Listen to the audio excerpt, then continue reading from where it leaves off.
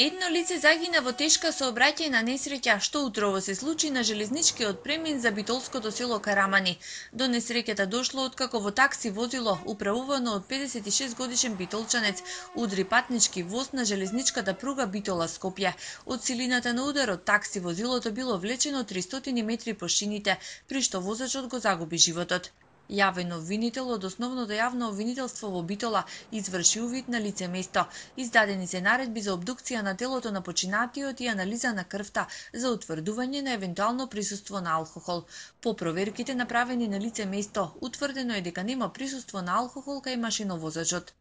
Истрагата продолжува со цел да се откријат причините за несреќата.